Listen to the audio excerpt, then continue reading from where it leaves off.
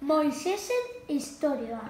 Egun batean, emakume batek euki zuen ume bat, baina faraoia esaten zuen ume txikiak hil behar ziren. Lotan zu, lotan zu, kampana jotzen du, kampana jotzen du. Amak utzi zuen Moiseseri Nilo ibaian. Hartuko dut, baina ez dut esango faraoiari, bestela hilko dio.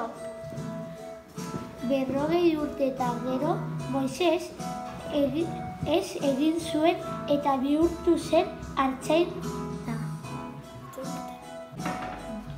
Joan faraoiaren gana eta esan, askatu nire herria.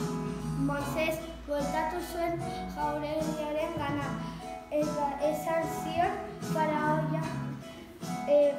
faraoiari. Nire herria askatu. Ez, ez eta ez.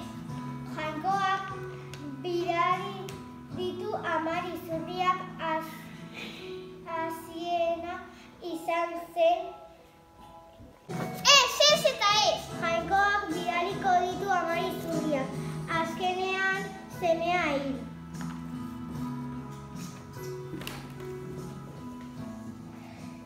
Azken e, eta amaieran itsaso gorria zabaldu zuen eta herria askatu zuen.